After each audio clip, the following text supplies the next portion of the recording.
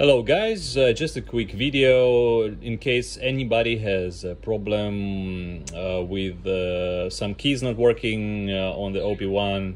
Uh, I had uh, a problem that I the whole right side didn't work or when I wiggle it the left side didn't work.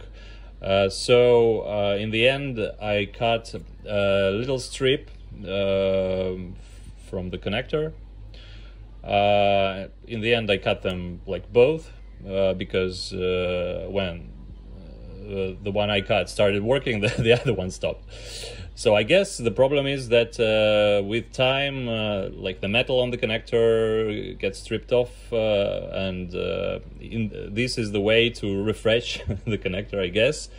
but if you do that, you have to cut like a really tiny strip that's enough.